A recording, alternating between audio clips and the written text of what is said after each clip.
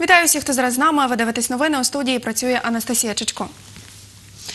57-річного священика, який помер від коронавірусу, поховали на Заліщицькому кладовищі із дотриманням карантинних заходів, розповіла Суспільному міська голова Алла Квач.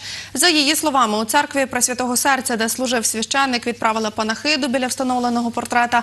На похороні були четверо близьких родичів. Близько третьої години родичі забрали тіло священика із Тернопільської лікарні швидкої допомоги.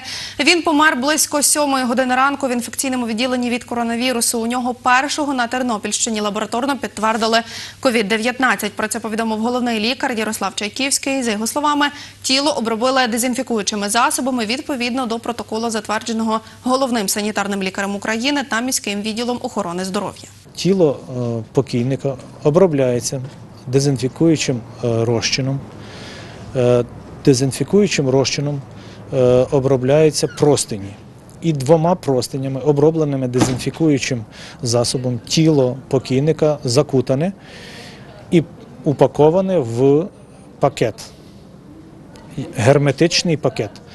І тільки після цього тіло покійника було упаковане в труну і з труну завантажено в бус, і тіло повезли в Заліщики для поховання.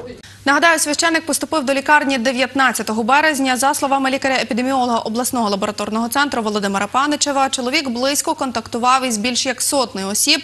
За результатами обстеження епідеміологів, серед них хворих на коронавірус не виявили.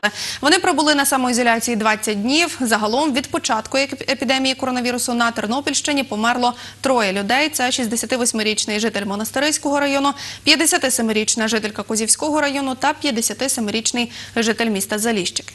Це люди е, групи ризику, як за віком, це люди старші 50 та старше е, 60 років. Це інтервал 50-60 і 60 і вище. Ну, крім того, у цих людей були е, супутні соматичні захворювання, і на превеликий жаль, е, ці люди е, померли, не дивлячись на те, що вони довший час знаходилися на лікуванні, і ніби ми сподівалися на певну перспективу позитивну, але, на жаль, сталася така трагедія. Наразі в інфекційному відділенні Тернопільської лікарні швидкої допомоги за вихідні хворих із підтвердженим ковід не поступало. Зараз від коронавірусу лікують вісьмох осіб. Ще одна людина під підозрою, каже Ярослав Чайківський. За його словами, четверо осіб одужують. Їх планують перевести на амбулаторне лікування і самоізоляцію. За останні три дні в інфекційне відділення лікарні швидкої допомоги поступила одна пацієнтка з підозрою на ковід. Зараз якраз іде е, обробка матеріалу, і е, точніше йде дослідження в лабораторному центрі. На сьогоднішній день ми е, робимо контрольні обстеження для чотирьох пацієнтів, які пройшли курс лікування в інфекційному відділенні. Самопочуття і гемодинамічні показники, яких наближаються до норми. І якщо ПЛР в лабораторному центрі буде давати нам від'ємний результат, то при наступному повторному обстеженні, яке робиться через день після е, попереднього, ми зробимо е, друге обстеження на ПЛР. Якщо будуть від'ємні результати, то такі пацієнти будуть скеровані на амбулаторне лікування в самоізоляції. За словами лікаря-епідеміолога обласного лабораторного центру Володимира Паничева, 13 із 160 хворих – це діти, 44 – це медики. За його словами, на Тернопільщині зафіксували близько тисячі людей, які контактували з хворими на коронавірус. За час спостереження підозр на COVID-19 було близько 300. З інфекційного відділення Тернопільської міської дитячої лікарні виписали чотирьох дітей і двох їхніх батьків, які лікувалися від коронавірусу, розповіла завідувачка цього відділення Ольга Дивоняк. За її словами, протягом вихідних хворих із підтвердженим COVID-19 не надходило. Була одна підозра, яка не підтвердилась. Стан дітей і дорослих на час виписки задовільний. Вони не потребують цілодобового лікарського нагляду. Але згідно лабораторних обстежень продовжують виділяти вірус корона- коронавірус і тому потребують самоізоляції вдома до отримання двох негативних мазків методом ПЛР.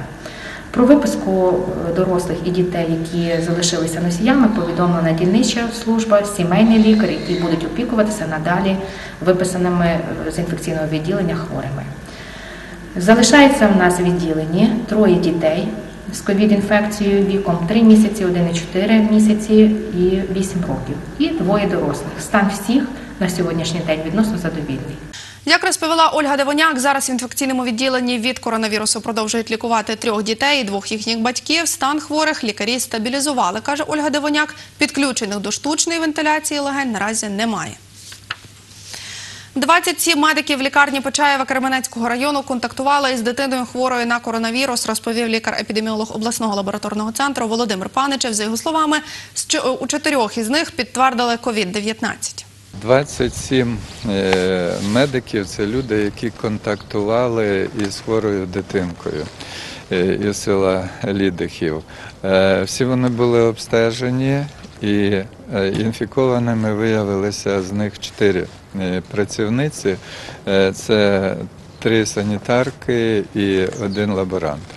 Але е, е, ці люди інфіковані, двоє знаходяться е, на амбулаторному лікуванні вдома, і двоє знаходяться на лікуванні в умовах стаціонару. Усі 27 працівників зараз на самоізоляції, розповів головний лікар Почаївської районної лікарні Богдан Кучер. 13 із них, за його словами, у медзакладі і 14 вдома. Усі вони у задовільному стані, розповів Богдан Кучер. Поліцейські поселили на обсервацію чоловіка, який повернувся із заробітків з Польщі. Це житель Тернополя. Чоловік розповів, що хотів самоізолюватися вдома, але його до помешкання не пустила дружина, з якою він розлучається.